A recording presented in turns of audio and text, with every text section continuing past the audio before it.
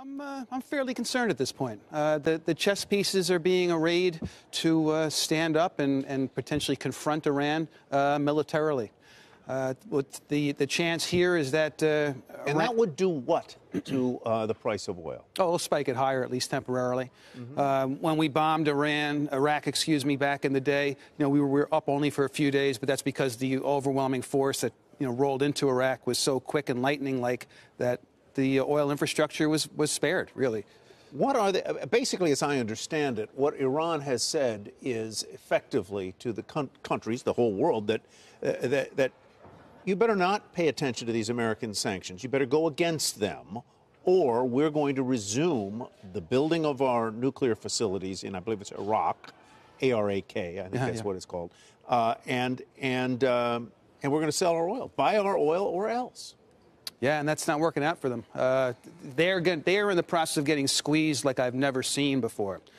Right now, from the best that we can all tell, uh, they are having a huge problem selling oil really at all. I think their output and exports could drop below 500,000 barrels a day now. Many of their tankers have been stripped of their flags and their ability to sell oil. The black market's a murky place. I'm not saying that they won't be, you know, connivingly good enough to get some of it out, but not by a lot, Tyler the secondary sanctions that loom out there that the United States can place banking on every system, basically. Right. right is, is, is scaring the daylights out of just about every legitimate purchaser or, or opportunistic purchaser of Iranian oil at this point. Could change, but for now, uh, this European system where they, you can try to evade these sanctions, not being picked up. Even Chinese, the big Chinese companies, not looking to buy Iranian oil at a discount because of the secondary sanction fears. So let's play this out then. Let's say all of these other countries say we're with the U.S., we're not going to buy anything from Iran, our business is done. Iran continues its uh, nuclear capabilities program, building it up. What happens then, in your view? I mean, do they actually have the wherewithal to do that at this point, economically and raw material wise? And should we be afraid of that in and of itself? I, well, I, I, think they're, they're going to get desperate, is, is, the, is the uh-huh. issue I have. Now, will they try to block the Strait of Hormuz, something like that? No. They will first try to come at us via proxies in the region.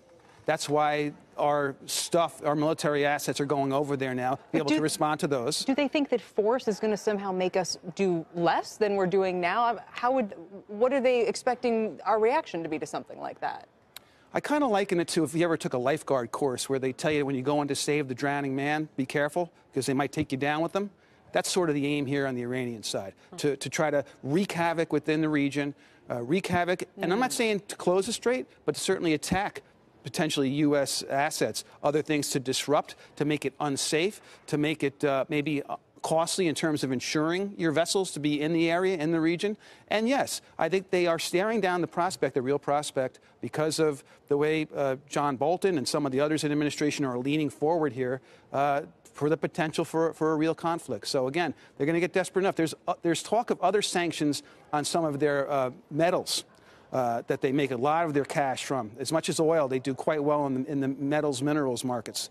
That looks to be foreclosed next. Wow. So uh, this GDP of theirs is about to crater. They're going to get desperate, and it's going to push the country into the arms of the hardliners in, in Iran, who don't necessarily care that much about consequences, you know, longer term. They, they are there to make a point.